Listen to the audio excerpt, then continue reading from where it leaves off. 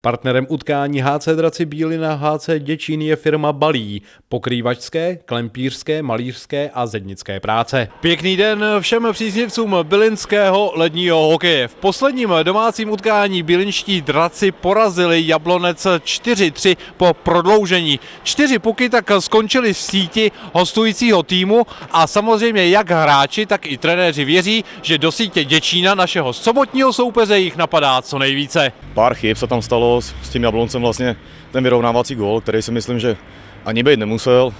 Stane se chyba, hlavně, že tam byl ten bod prodloužení a v tom slaném, jak bych to zhrnul, tam trošku nás potopil rozhodčí, ale na to si nemůžeme stěžovat. No. Tam prostě jsme měli makat až do konce a uvidíme, jak to bude dál. No. Hmm.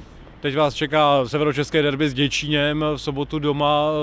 Co zkázat fanouškům, jak je nalákat? Tak asi určitě, aby přišli, protože pokud přišli, tak tady byla výborná atmosféra a pro mě jako pro domácího se hraje hodně dobře, když tady vlastně ty lidi chodí a určitě ať přijdou, ať, ať, ať přijdou a jsou slyšet. No tak zápas to byl určitě těžký, hodně bruslení, ale myslím si, že ho zvládneme a fanoušci ať přijdou a podpoří nás, no určitě budeme potřebovat. Tak Děčín je nahoře teď, jsem koukal, tak určitě, aby diváci přišli, že jo, takže potřebujeme každou podporu a vlastně v té druhé se dá hrát s každým, že jo. Nezáleží, jestli je někdo dole nebo nahoře, ale záleží, jak se ten zápas odmaká, takže podle toho. Takže nezapomeňte, sobotní utkání sedmého kola byly na Děčín začíná v 17.30.